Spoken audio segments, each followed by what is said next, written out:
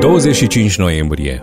Azi o pomenim pe Sfânta Mare Mucenică Ecaterina. Pe vremea păgânului împărat Maximilian se afla în cetatea Alexandriei o fecioară cu numele Ecaterina. Ea fiind de 18 ani, era foarte frumoasă, de statură înaltă și foarte înțeleaptă iar fecioara Ecaterina, ca o înțeleaptă ce era, foarte mult iubea fecioria și nici de cum nu vroia să se mărite. A zis către dânsii, devoiți ca să mă mărit, apoi aflați-mi un tânăr care să fie asemeni mie, cu patru daruri, cum sunt eu, și atunci îl voi lua de bărbat, pentru că mai nevrednic și mai prost decât mine nu voiesc a lua. Atunci un preot creștin i-a spus, eu știu un tânăr minunat, care fără asemănare te întrece pe tine în toate darurile care ai zis că ai pentru că frumusețea lui întrece strălucirea soarelui, iar înțelepciunea lui îndreptează toate făpturile și pre cele simțite și pre cele gândite. Apoi visteria bogăției lui se împarte în toată lumea și niciodată nu se împuținează, ci cu cât ea este împărțită, tot mai mult se mulțește, iar neamul lui cel bun este negrăit, neajuns și neștiut. Acest tânăr nu are tată pre pământ, ci s-a născut negrăit mai presus de fire, dintr-o fecioară de bun neam, prea curată